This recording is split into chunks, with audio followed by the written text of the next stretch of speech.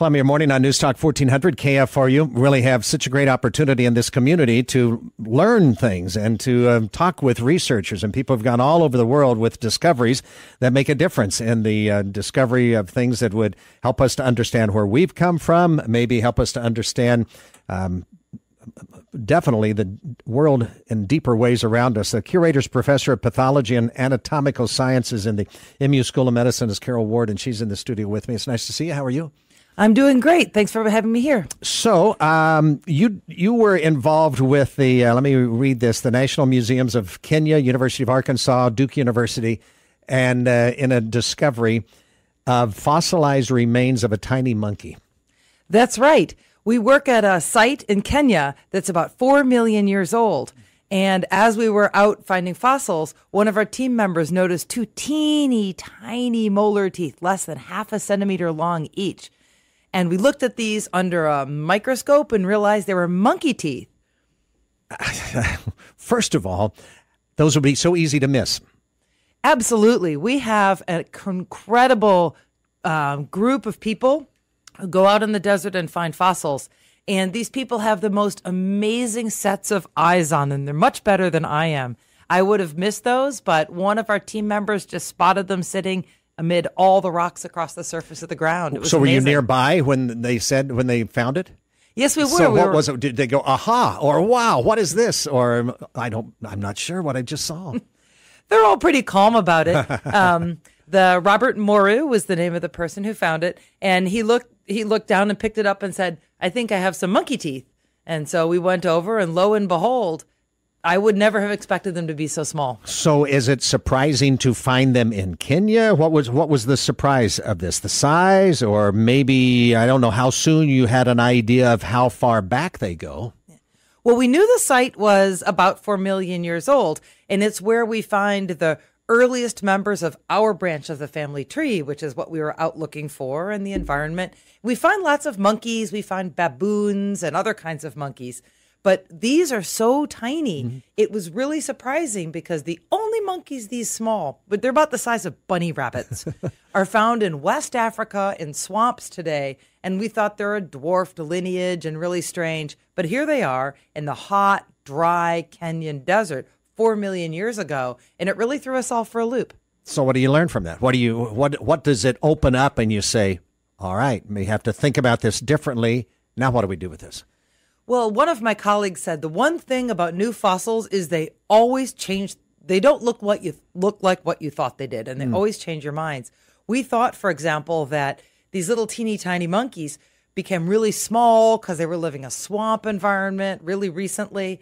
When we find these animals in times and places and environments that we never expected, it really raises bigger questions about how do animals fit in the environment? How can we use fossil animals to tell us about how our climate and our environment changed over time? Hmm. So to have these funny, tiny little monkeys in a wrong place, at the wrong time, in the wrong environment, really um, makes us rethink a lot of our assumptions about how life has evolved. So, were you thinking that those monkeys then lived in a place similar to what it looks like now, or that that place looked differently? Very different. The mm. environment at this site called it was called Kanapoi, and it's hot, it's dry. It probably had scrubby trees and open woodland, and they're living there with with giraffes and zebra-like animals and elephants and um, all kinds of an- gerbils, animals that live in open, dry country where little monkeys don't usually uh-huh. live. So we have a lot to learn about this little creature. So they still uh, uh um, monkeys relate. Uh, how do I ask this? The same monkey live nowadays, or are they extinct?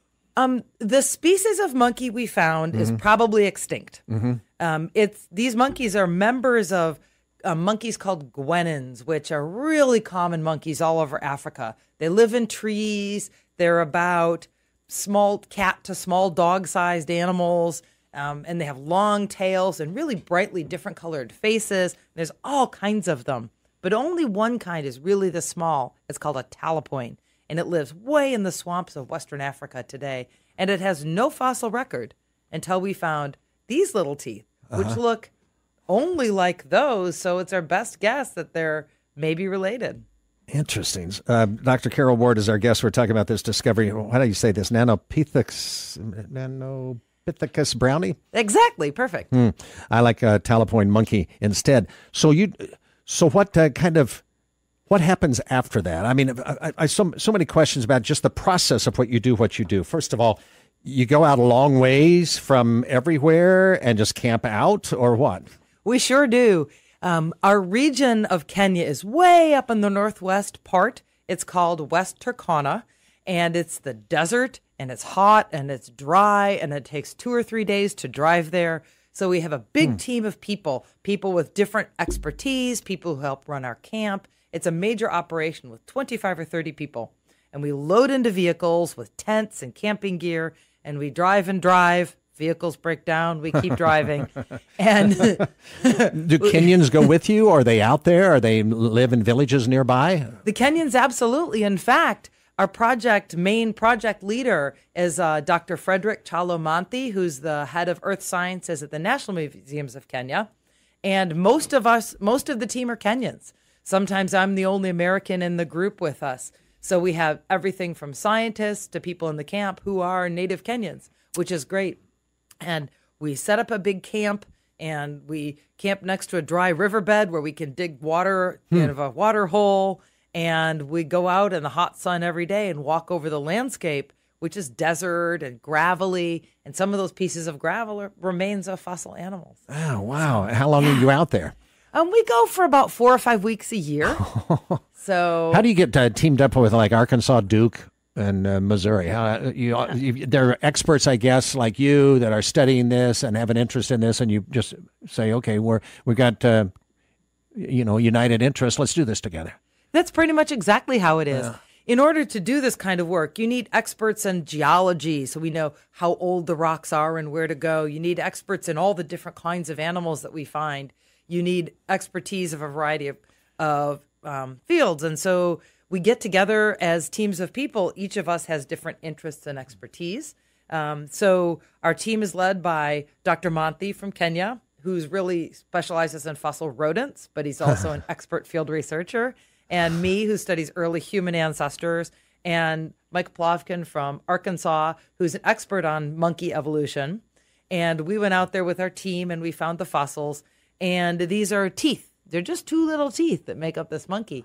And there was Rich Kay at Duke is an expert on looking at the anatomy of the teeth to say things about diet. So we each pull our pieces the our expertise together and pieces of the puzzle to make a whole picture. Still amazes me that you, first of all these were seen, but as you said, these are people that say, "Hey, I make my life seeing the small things," and uh, you oh, never exactly. know what you're going to find. So, all right, I'm going to explain this, and you can tell me that this is a very simplified version of. So any discovery like that to me, and I saw something today, I think on CNN.com about how a 23 year old saw a, found a skull of something, or other words. So it's like you have this continuum, you have this timeline, and you you put discoveries along this line.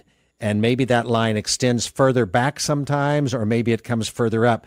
But now you discover this small monkey, and then you try to place it on a timeline someplace then? Say, okay, here's where it fits. We do. We have a, actually a really good idea of how many million years ago these animals lived because we have a great understanding of the geology of this area. And we can, or we, when I say we, I mean mm. geologists, can get very precise dates on exactly how old these are. So we go to places where we know how old the animals are. And then we find the remains. And then we look at the anatomy and we say, this looks most like this kind of animal or the other kind of animal, and it's similar in this way and different in another way. And from that, we we know how old they are, and from that we can piece together a timeline of evolution of all these different. Just keep animals. filling in the gaps. That's what you want to do. Exactly. And, and, and, um, and every time never, you find uh, one fossil, it creates two gaps. That's, that's right? what I was going to say. More gaps. That's what I was going to say. You, you, don't know when you're ever done. Right. Keeps us in a job. So uh, the other question I thought about you are at your appointment is it with the MU School of Medicine. That's correct. So how does this fit into, you know, I would never have guessed these kinds of discoveries would have been related to the School of Medicine in any way. No, I think many people are surprised. Yeah. Well, as paleontologists, we go out and we find fossils, which are bones and teeth of animals. And if we want to understand those animals, how they moved, what they ate, how they lived, we need to know what, say, the muscles were and how they attached to the animal, and then what nerves ran the muscles and what blood vessels supplied the muscles and how the animals were put together to, to reconstruct what they did. Hmm. And so we use anatomy every day in our research. And so we're really good at it. And it's a real natural subject for us to teach to other students of whatever interest medical students, nursing students, physical therapy students, uh. speech pathology students.